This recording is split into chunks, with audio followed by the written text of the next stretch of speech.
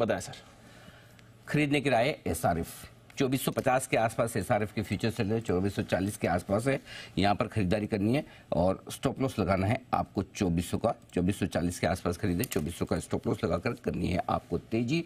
Target deep बड़े दे रहा हूँ। पच्चीस सौ नब्बे छब्बीस सौ बीस और छब्बीस सौ पचास तीन टारगेट के लिए खरीदारी करनी है आपको। पच्चीस सौ नब्बे छब्बीस सौ बीस सॉरी चौबीस सौ नब्बे पहला नोट पच्चीस सौ चौबीस सौ नब्बे पच्चीस सौ बीस और पच्चीस सौ पचास, ये तीन टारगेट हैं जिसके लिए खरीदारी करनी है। फिर से नोट कर ले two four nine zero two five two zero two five five zero ये छोटे टारगेट हैं। इवेंचुअल टारगेट छब्बीस सौ पचास का बनेगा लॉन्ग टर्म के लिए नाइन ज़ीरो पर तो है आ गया चलो कोई बात नहीं।